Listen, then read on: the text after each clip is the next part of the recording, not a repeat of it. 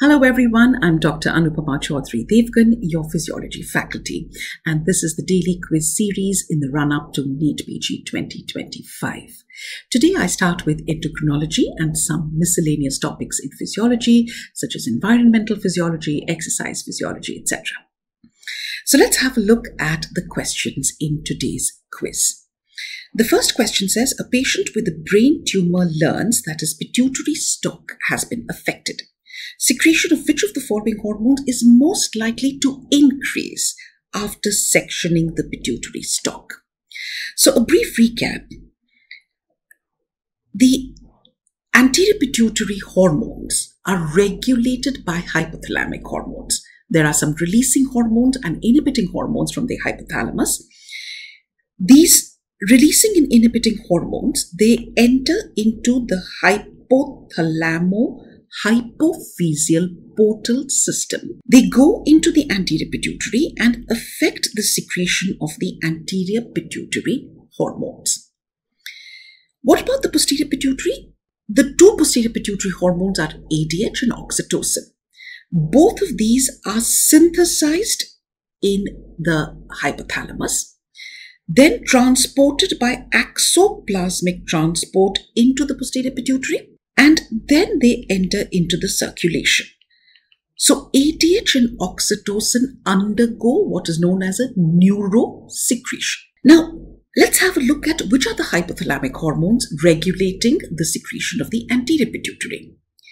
So the first one is CRH, corticotropin releasing hormone, which increases the secretion of adrenocorticotrophic hormone from the anterior pituitary. Thyrotropin releasing hormone increases the secretion of thyroid stimulating hormone from the anterior pituitary. GnRH, gonadotropin releasing hormone, increases the secretion of FSH and LH from the anterior pituitary.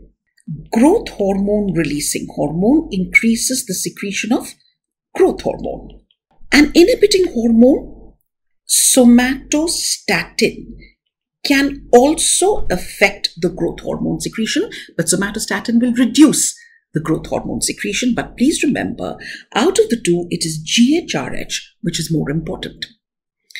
There is another inhibiting hormone which is called prolactin inhibiting factor, which is nothing but dopamine, which inhibits the secretion of prolactin from the anterior pituitary. So, if the pituitary stalk is sectioned, all hormones will be reduced, including the posterior pituitary hormones, except one.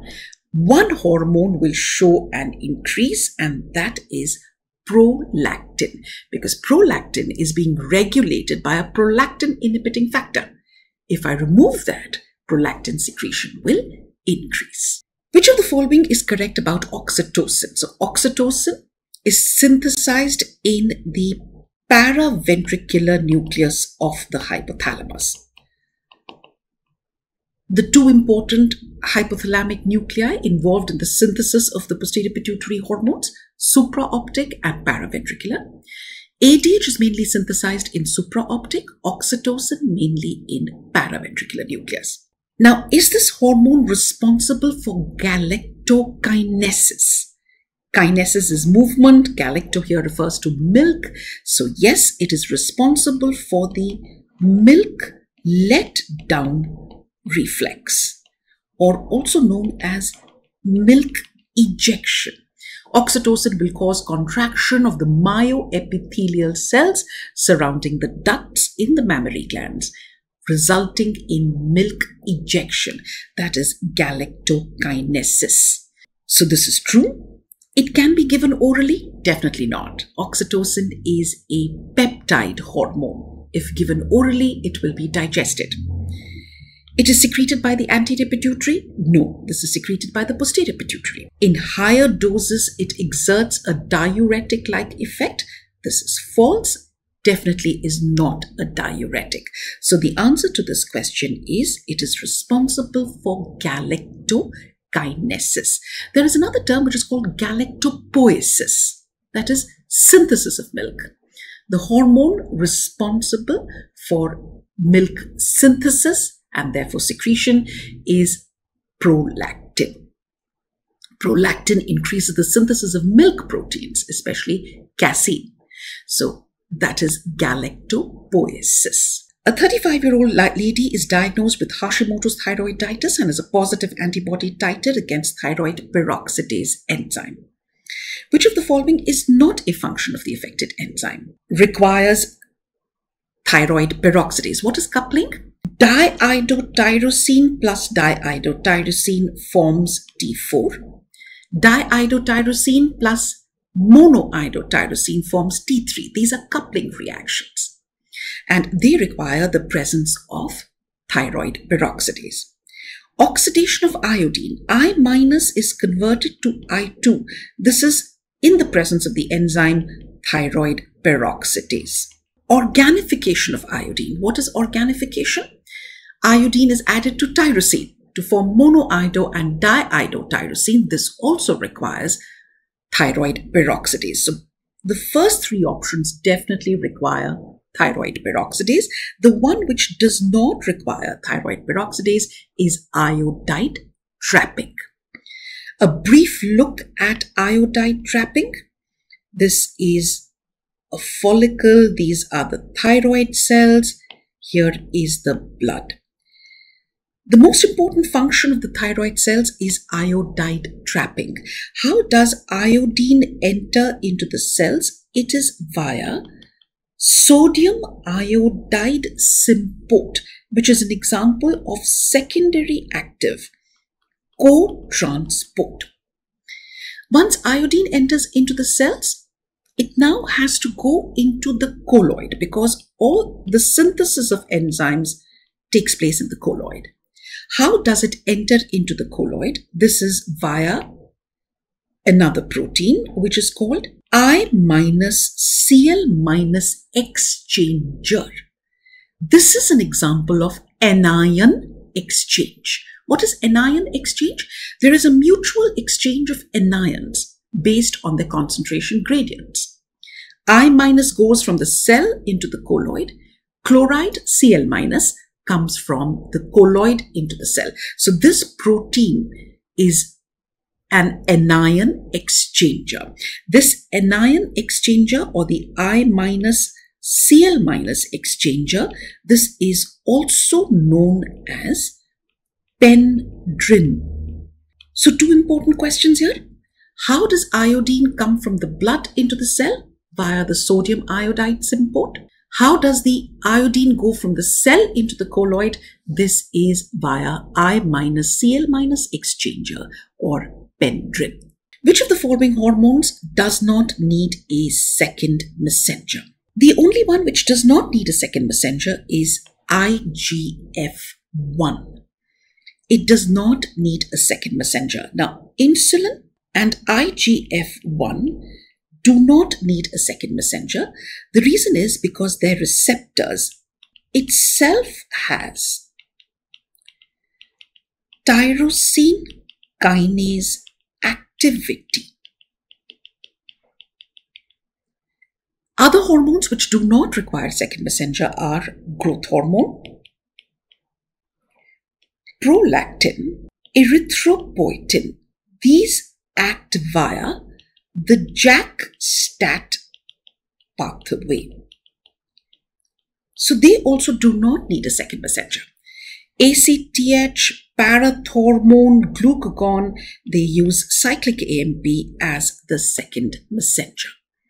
So the answer here is IGF-1. A diver is doing explorative work underwater at a depth of 200 feet below sea level. Which of the following are most likely to occur, occur sorry, after he makes a rapid ascent to the surface? Now, please understand when a diver is working underwater, the pressure, the surrounding pressure keeps on increasing. The deeper you go, the surrounding pressure will increase even more. For every 33 feet or 10 meters below sea level, the pressure increases by one atmosphere. Remember, at sea level, the pressure is one atmosphere. So every 33 feet that you go below sea level, the pressure will increase by one atmosphere. So what happens when the pressure increases? it now causes an increased solubility of gases and it also causes an increase in the density of gases. The deeper you go underwater, the surrounding pressure keeps on increasing, right? At a depth of about 200 feet, as I gave in the question. What is going to be the pressure? One atmosphere of sea level plus one at 33 feet, plus one at 66, plus one at 99, and so on. Uh, if you see this, it's four atmosphere at 100 feet and add another three, uh, about seven atmospheres at 200 feet. Very large increase in pressure. This increases the solubility of gases and increases their density, making it difficult to breathe. Gases tend to go in a dissolved state underwater. So if I'm giving the diver 100% oxygen, there is a risk of developing oxygen toxicity. What is oxygen toxicity? Now, because of an increased solubility underwater, there is going to be generation of free radicals. Which are these free radicals that we are talking about? O3 minus, H2O2, and they start producing cell damage. There are two categories of symptoms. There are some neurological symptoms and pulmonary symptoms. The neurological symptoms are called the Bert effect, and the pulmonary symptoms are called Smith effect. CNS symptoms of oxygen toxicity are the Bert effect, and the pulmonary symptoms are called the Smith effect. CNS symptoms can include twitching of muscles, facial pallor, there is vertigo, nausea, altered behavior, clumsiness, convulsions. All this is happening underwater. Pulmonary symptoms can be uh, a carinal irritation, there is uncontrolled cough, there is chest pain, there is dyspnea, difficulty in breathing. These are known as the Smith effect. To reduce oxygen toxicity, I can give a combination of oxygen and an inert gas. And the inert gas that we normally use is nitrogen. So I give him, I reduce the percentage of oxygen and give him nitrogen. Now, nitrogen is, as it is a highly soluble gas, underwater its solubility increases even more. So there is a huge increase in the nitrogen solubility, which starts dissolving in the plasma and even in the cell membranes and in the myelin. Because of that, it alters ionic conductivity and that results in a condition which is known as nitrogen narcosis. Please understand, in nitrogen narcosis, there is no chemical reaction. It's just a physical reaction where there is an increased solubility of or increased dissolution of nitrogen in not only the plasma, but also in the cell membranes and in the myelin. Altering ionic conductivity and giving, giving rise to what is known as nitrogen narcosis. Now, why is it called narcosis? Because the symptoms of nitrogen narcosis are similar to alcohol intoxication. And sometimes this is also known as the martini effect. Martini is a cocktail.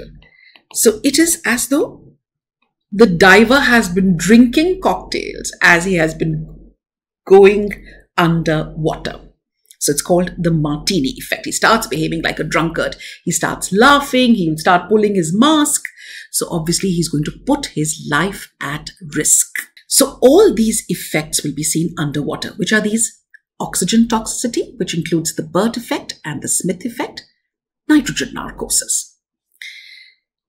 Now, when he, when the diver comes to the surface, and especially if he makes a very rapid ascent to the surface. Remember, underwater, the gases were in a dissolved state. But when he comes to the surface, these gases start forming bubbles. And these bubbles will now cause air embolism. It is like when you open a can of Pepsi. When the can was closed, carbon dioxide is in a dissolved state. But the moment you open a bottle of Pepsi or a can of Pepsi, the, the carbon dioxide starts forming bubbles because there is a sudden release of pressure. This gives rise to what is known as the caisson's disease, also known as decompression sickness, bends, aeroembolism, air embolism. All of these are because of gas emboli blocking blood vessels. The symptoms of caisson's disease are bends. 90% of the patients will present with bends, painful joints and muscles. They can also be pulmonary symptoms, can also present with CNS symptoms, which include convulsions, coma, maybe even death. So let's go back to the question which I asked you. A diver doing explorative work underwater at a depth of 200 feet below sea level makes a rapid ascent. He is most likely to suffer from Caisson's disease oxygen toxicity, nitrogen narcosis, Bert effect, Smith effect, which are forms of oxygen toxicity, will all occur underwater.